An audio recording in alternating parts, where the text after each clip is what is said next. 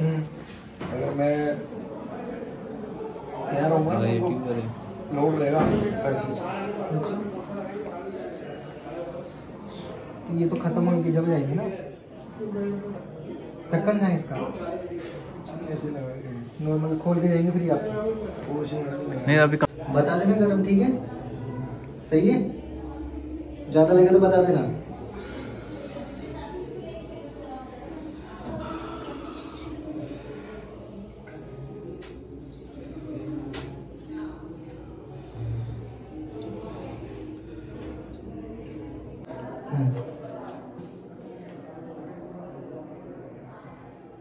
आठ आठ है ना आपकी? जी बस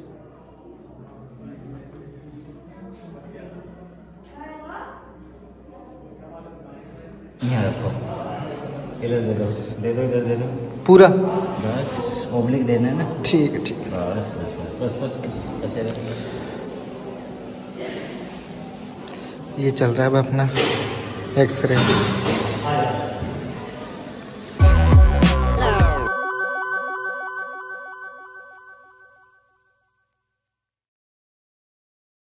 हेलो गाइस कैसे आप सभी लोग? आशा करता हूँ सभी अच्छे होंगे, मस्त होंगे बिंदास होंगे। मैं भी एकदम मस्त हूँ, बिंदास हूँ। बस थोड़ी सर्दी से परेशान हूँ भाई। सर्दी इतनी खतरनाक हो रही है। दिख रहे हो, कोहरा। अभी बाहर चलूँगा तो और अच्छे से दिखा दूँगा। सर्दी में भाई उठने में इतना ज़ोर आता है जिसकी हद नहीं है। ये ठंड यार कुछ दिनों से ही पड़ने लगी है। पहले नहीं थी इतनी, नॉर्मल चलता था। लेकिन अब ये अपना कहर ढा रही है भाई। कोई ना, ठंड हो या गर्मी हो इंटर्नशिप चली रही है तो अपने को छुट्टी मिलती नहीं है। छुट्टी तो सिर्फ़ जो UG scholar P G scholar वगैरह होते हैं जो पढ़ते हैं कॉलेज में, उनको छुट्टियाँ मिलती हैं। उनकी छुट्टियाँ चली रही है, शीतकालीन अवकाश सर्दियों की बट हमें नहीं मिलती। हमें सिर्फ़ एक एक छुट्टी मिलती है संडे की, इसके अलावा नहीं मिलती। तो रेडी वेडी तो हो चुके हैं कॉलेज के लिए, नाश्ता करना बाकी है, ठीक है? और आज सर्दी है ना तो पापा छोड़ने चलेंगे क्योंकि मैं थोड़ा लेट हो गया, उन्हीं के टाइम उनको ऑफ़िस जाने का टाइम है तो उन्हीं के साथ जाऊँगा, बढ़िया है, बस वो हमें धक्के खाने नहीं पड़ेंगे सुबह सुबह। तो आज पापा छोड़ेंगे, मज़े से। तो बिना देरी करे सीधा चलते हैं हॉस्पिटल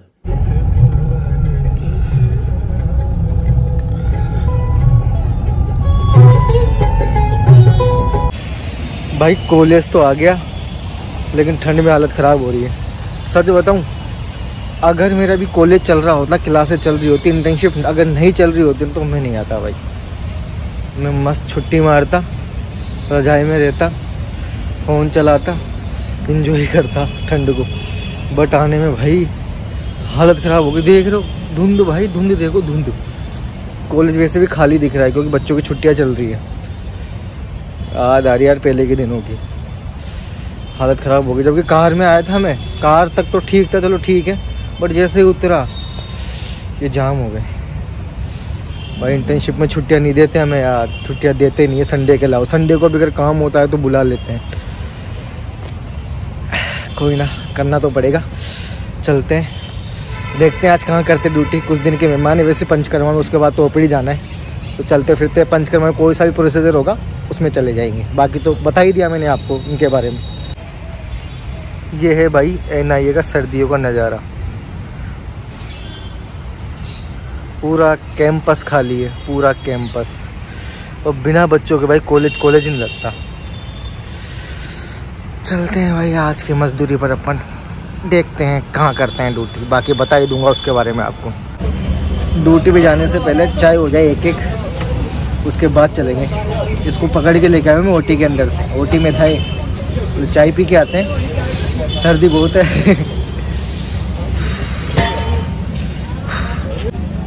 उफ, ये चाय और इसके झाग।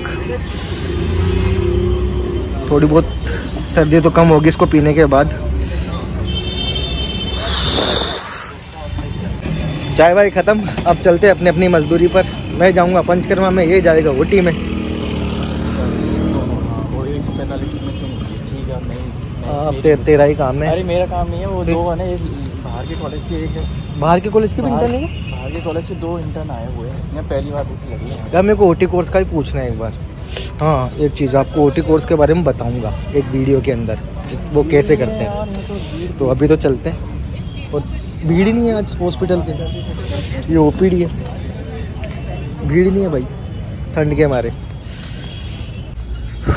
ये रहा अपना पंचकर्मा डिपार्टमेंट कुछ दिन के और लगती है पूरे टाइप्स कुछ है मैंने पंचकर्मी नहीं पंचकर्मा यार बोर हो जाते हैं यार। सच में बोर हो जाते हैं। तो कुछ दिन के मेहमान हो और अपन यहाँ पे। देखते हैं आज कहाँ करते हैं अपन ड्यूटी कौन से प्रोजेक्टर रूम में करेंगे चल ठीक है जा तू। कितने दिन तक पंचकर्मा? पंचकर्म दो तीन दिन और बच रहे हैं ठीक है? आज नस्से करम और सिरो बस्ती यहाँ करेंगे ड्यूटी अपन। ये है सिरो बस्ती। तू तू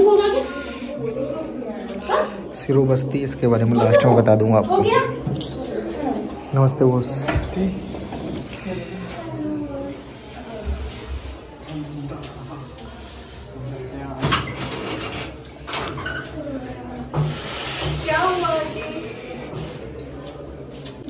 इनका है नशे नशे आँखें बंद कर लो आप ठीक है?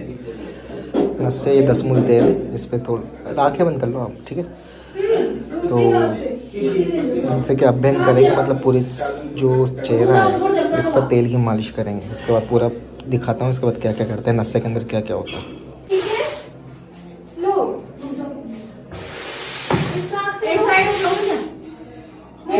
हो एक सेकंड एक मिनट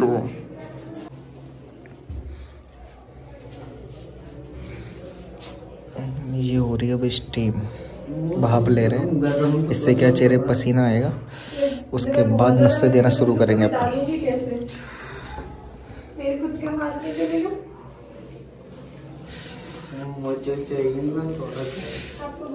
थोड़ा सा गर्म कर दो बस। बता देना गर्म, ठीक है? सही है? ज़्यादा लगे तो बता देना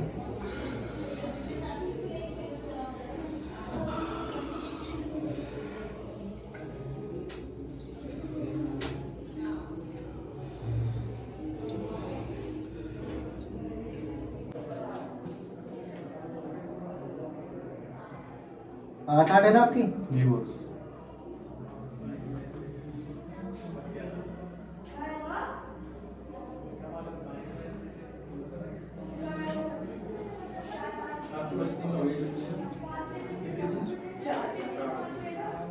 बाद सेकंड दिन बाद? आ गया गले में? हाँ? ये है नशे का आखिरी स्टेज धूम बत्ती बोलते हैं इसको। ये दस मूल होता है उसकी बनी होती है। हो गया क्या बहुत है? एक नाक एक नाक से खींचना ठीक है? और मुँह मुँह से निकालना।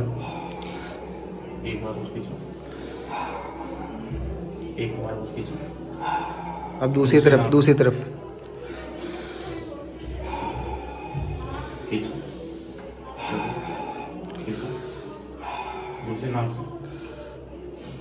तीन तीन बहुत है? मुँह से लो। खींचो नहीं नहीं। खींचो नाम से खींचो एक बार खींचो दूसरे नाम से। एक बार और। एक बार और। अब मुँह से लेना है नाम से छोड़ना मुँह से छोड़ना है। मुँह से छोड़ना है ठीक है? खींचो। खींचो। सांस लो। अब छोड़ो मुँह से मुँह से मुँह से। खींचो। खींचो। खींचो आज क्या सर्दी है ना तो पेशेंट भी कम है। मतलब पंचकर्मा में इतने पेशेंट दिख नहीं रहे लेकिन आईपीडी में भरे पड़े हैं वहीं। आईपीडी के अंदर है। यहाँ पे तो नहीं है लेकिन आईपीडी में है। होता ये है कि सर्दियाँ रहती है ना तो उसमें पंचकर्मा के पेशेंट कम ही आते हैं। और जहाँ मेरे ने आज ड्यूटी करी, वो नस्से प्लस सिरोबस्ती थी, ठीक है? तो दिखा दिया कि नस्से क्या, कैसे करते हैं और सिरोबस्ती कैसे करते हैं। उसके बारे में आपको बता दूँगा कि कौन से बीमारियों में करते हैं, वो लास्ट में बता दूँ। उससे पहले, भाई मेरे कल क्या पैर में थोड़ी मोच आ गई तो उसका एक्सरे करवाना है। तो अपन एक्सरे करवाने चलते हैं। और एक्सरे के लिए अपने को लाइन में लगने की ज़रूरत है नहीं, क्योंकि अपने ही हॉस्पिटल में होता है। स्टाफ के स्टाफ के नाम से सीधा जाओ एक्सरे करवा लो। हाँ बट पर्ची बनवानी पड़ती है, क्योंकि रिकॉर्ड रखना पड़ता है उस चीज़ का। तो चलते हैं अपन एक्सरे वैक्सरे करवाते हैं। पेन हो रहा है क्योंकि यार, हल्का हल्का सा पेन रह रहा है। फालतू क्यों क्यों रिक्स लूँ? क्यों रिक्स लूँ फालतू में?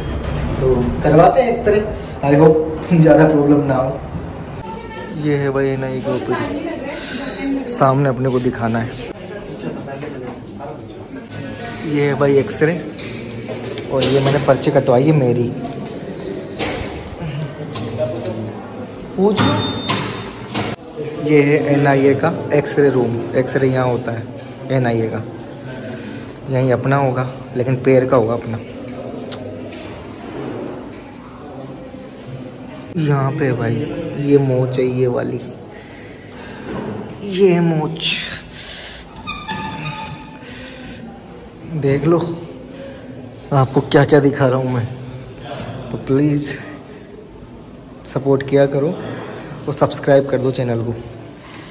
अब पेन कुछ ज़्यादा हो रहा है। देखो, ये दिख रहा है ना आपको नीला नीला पड़ गया ये देखो। सिड्डियों से क्या गिर गया था मैं कल। सिड्डी उतर रहा था तो सिड्डियों पे एक ऐसे मुड़ गया ऐसे पूरा ऐसे मुड़ गया ये उसकी वजह से। ये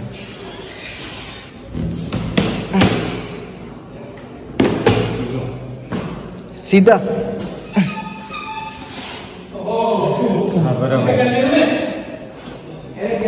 आ, बोस यार पूछो मत तो।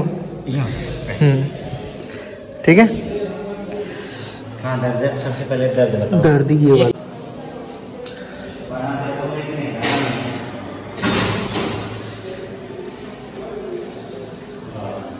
छोड़ो एक मिनट छोड़ो एक मिनट यहाँ रखो इधर दे दो दे दो इधर दे दो।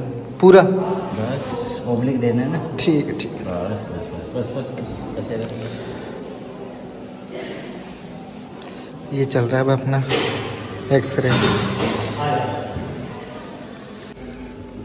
ये है भाई मेरा एक्सरे आया तो कुछ नहीं नॉर्मल ही है बस हल्की सी मोच ही है सूजन है उसकी वजह से बस।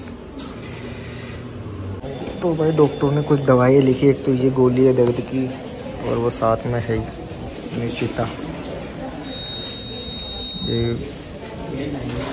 जो दवाई लिखी है डॉक्टर ने पेन किलर और थोड़ा हीलिंग की तो लेने गई है। आने दे भाई, आने दे। पता है, बहुत कम लिया हूँ मैं दवाई, और लेनी पड़ रही है। लेके तो चल, वहाँ तो चल। हाँ तो भाई दवाइयाँ वगैरह से फ्री हॉस्पिटल से फ्री अब खाते हैं। खाना, वाना। और खाने में अपने पास वही है, जो डेली होता है।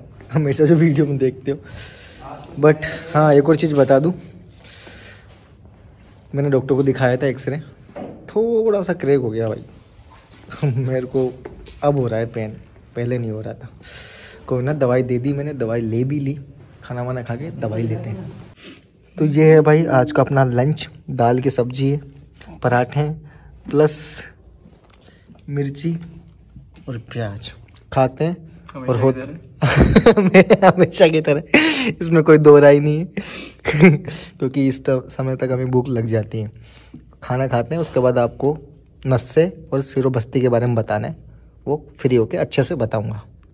तो भाई खाना खाने के बाद सीधा सर्जरी डिपार्टमेंट के अंदर आए। ये क्या सर्जरी डिपार्टमेंट है? यहाँ पर ड्रेसिंग होती है।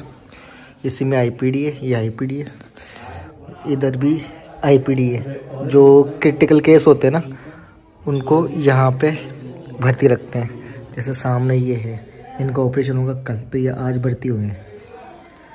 तो यहाँ कुछ काम था, थोड़ी बहुत ड्यूटी बची हुई है। मेरी तो हो चुकी पंचकर्मा में हम दो बजे फ्री हो जाते हैं।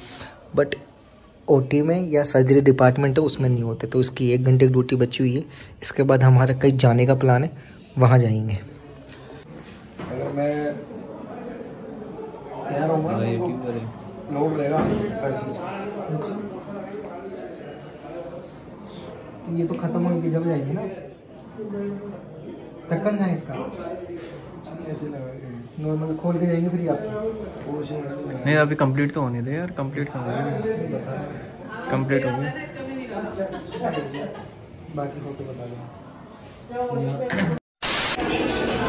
तो भाई कोहली से सीधा फ्री होके हम आ चुके हैं जूडियो हमारी फेवरेट जगह।